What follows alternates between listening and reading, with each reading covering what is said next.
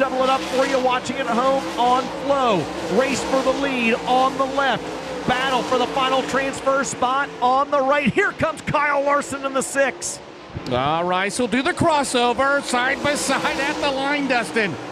Six down, four to go. Rice has got to get back up top, and he does. Larson with the crossover down the back straightaway. What a race! And our final heat of the night. Throwing haymakers at each other. Kyle Larson in the six, Josh Rice in the 11. Eldora, you've got a new leader. It's Elk Grove, California's Kyle Larson with three laps to go.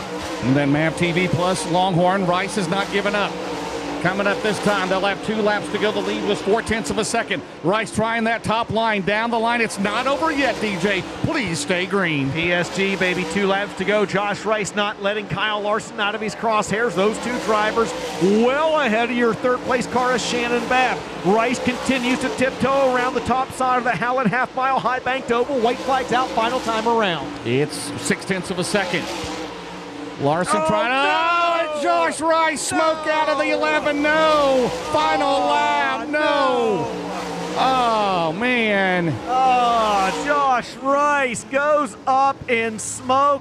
The caution flag comes out because you cannot see it all. I have not seen smoke like that since last 4th of July.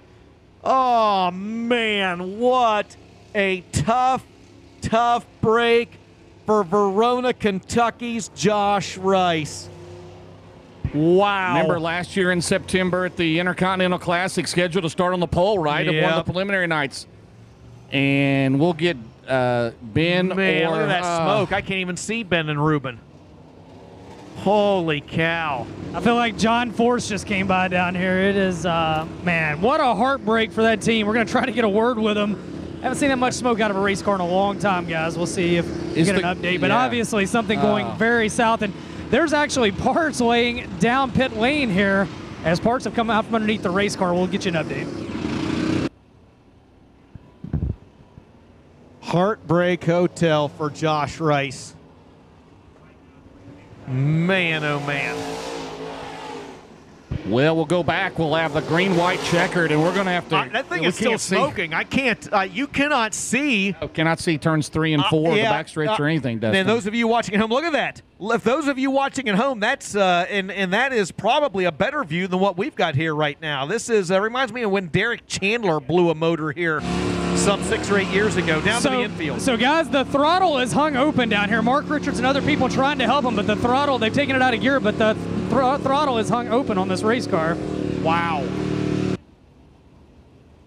That's unbelievable.